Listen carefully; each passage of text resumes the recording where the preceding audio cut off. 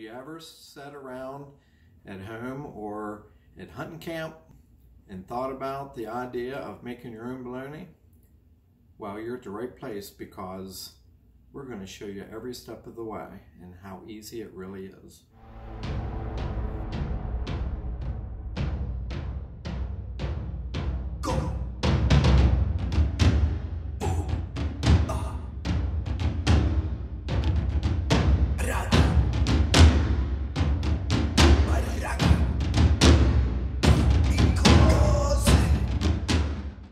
We take 30 pounds of freshly ground venison and we grind it twice. I'm going to look over the recipe and make sure I have all the things together.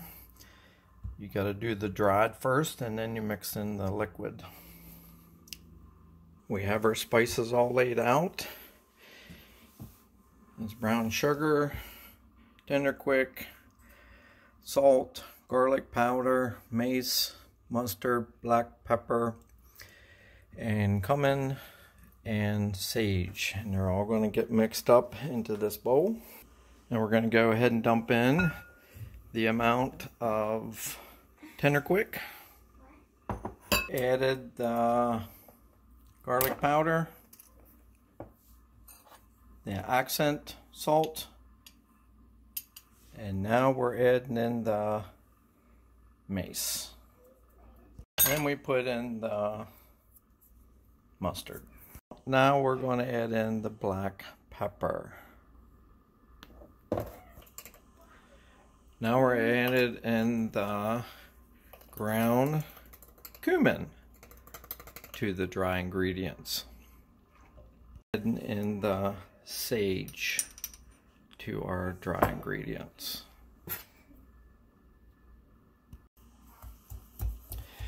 Now mix her up good.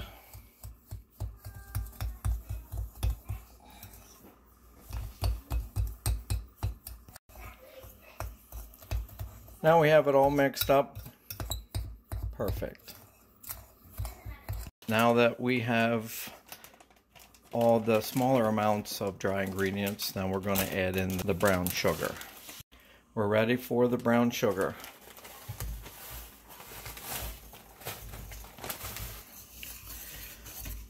We have the brown sugar put in a bigger bowl and then we're going to whisk it up some so there's no chunks. Now we'll go ahead and mix in all the other dry ingredients into the brown sugar and mix that up real good.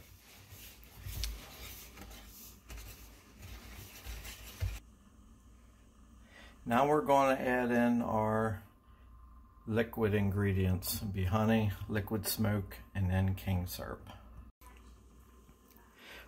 Mixing in the honey. Okay, now we're going to go ahead and add in all the syrup. And the last ingredient, wet ingredient, is the liquid smoke. We're going to go ahead and add that to the mixture and stir it all up. And it is a job to mix up all of that stuff.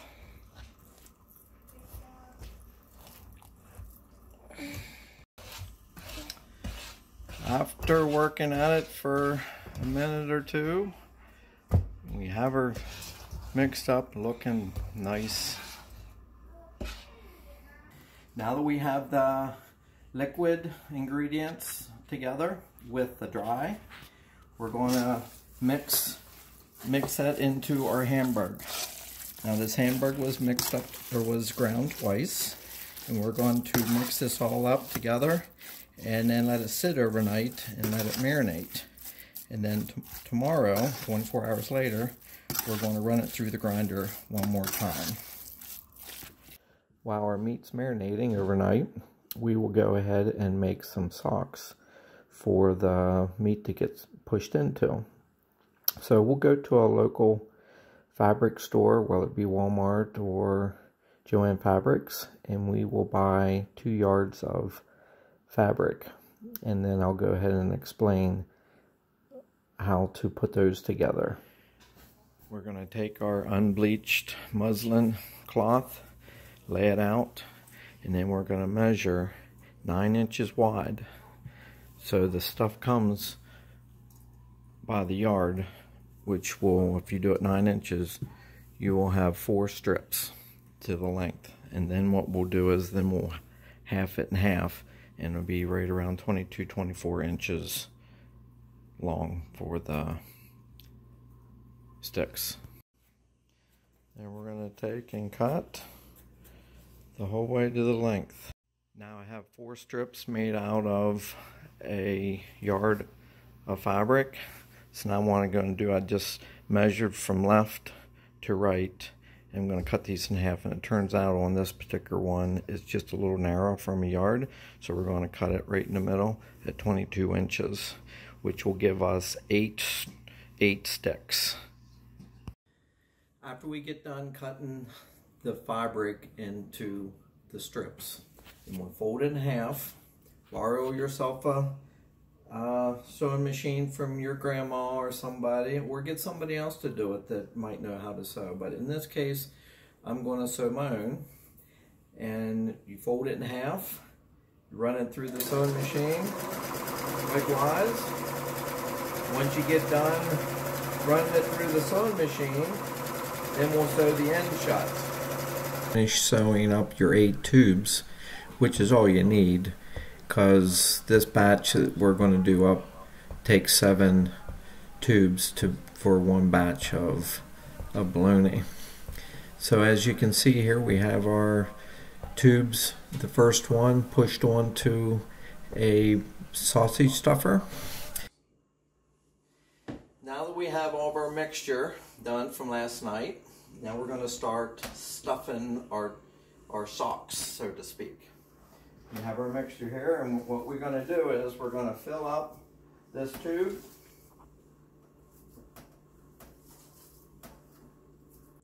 Okay, and as you put the sauce or the meat down in there, you want to put it down so there isn't a lot of air pockets. Otherwise, you get air bubbles or air pockets in your sock. And we got it just about full because you don't need it completely full. And we'll go ahead and put this back up in the... Now we have the canister full of meat. And Levi's going to go ahead and crank it down and then we're going to fill up, fill this sock. Ready? And you have to keep it really tight as you can see, it's to fill up the sock so that it don't have a lot of air bubbles. Don't go so fast, Levi. Keep going a little bit faster. Because the faster you go, the more chance you have to mess up. And I want to keep my right hand out against the end of the tube to show you, or to, to keep pressure on the stick of baloney. And you can kind of see how this fabric was whitish, an off-white color, and you can see how the the treatment and the mixture that is on the meat is kind of coming out through, seeping out through.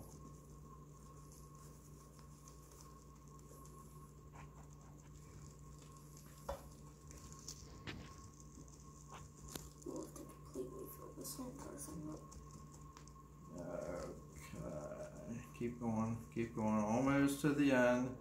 Keep going a little bit further, a little bit further. Okay.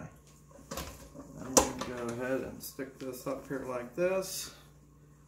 And Levi's going to tie a string around it.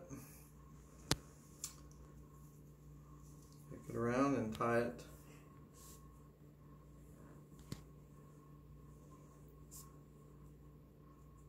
He's going to tie it as tight as he can get it with those 10 year old muscles. And then once you got that done, then I'll just snug it up even a little bit tighter and double tie it.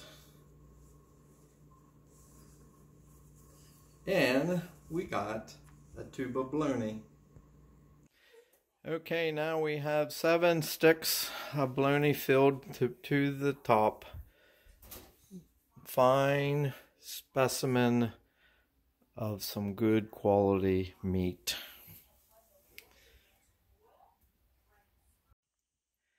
Now that we have all the sticks filled, seven to be exact, tomorrow we're going to take it up to our local butcher shop and let him put some smoke and bring the temperature up to 170 degrees. That'll help cure it. And then we'll let it sit for about a week or so in the cold or in the refrigerator so the liquid smoke inside the meat mixture does its magic. Now that the meat's been in the refrigerator and has been marinating and the liquid smoke doing its job over the last two weeks or so, now we're going to go ahead and sample it. As you can see what this muslin looks like after it's been cured a little bit longer. We're going to cut a couple pieces off here and sample it.